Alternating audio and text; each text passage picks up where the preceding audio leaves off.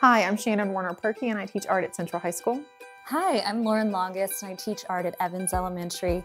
And we're really excited to be here with you today. Um, Shannon was actually my mentor teacher when yes. I was a student teacher several years ago. Um, and she'd reached out to me about how we could work on making this space that you're all seeing right behind you uh, the Promethean board for the virtual lessons more inviting. And it's actually something that's personal to her family. Yes, my son and my daughter um, have been watching the lessons and they really like it. They miss school a lot. So the lessons have been a good thing for their uh, morning. Um, and right after they watch them, then they do their virtual work. And you know, art is just something that's inspiring and it's everywhere we look.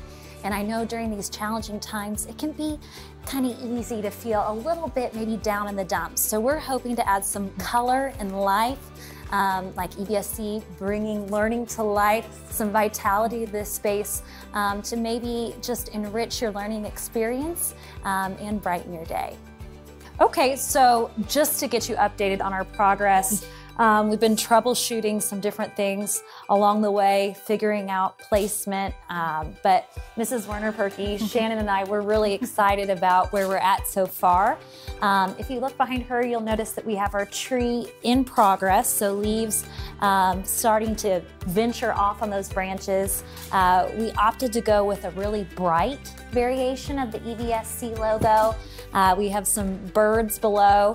And then the side behind me is kind of in progress. So it'll be a surprise at the end, maybe for us um, and for the viewers as well. Yes, we just want something that's very bright and inviting and warm, um, especially during this time. Um, something that students can see um, when they're learning from their teachers.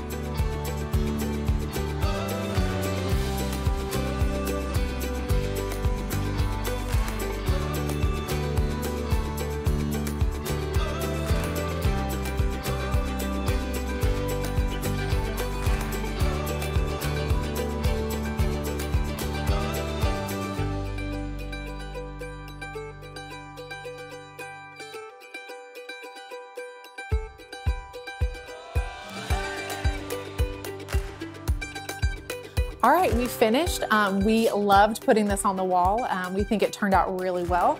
Over here we have the tree. We made some executive decisions and took some branches and leaves out. Um, we wanted it to flow underneath the board and organically flow that way outside of the screen. Um, and as Mrs. Werner Purkey mentioned, we do have this flow continuing over to the other side, so that extension of the branch. Um, we've also added some fun little critters. Um, hopefully you can spot the birds, the cat, there's a bee in there, all sorts of little surprises to keep you interested and engaged while you're learning.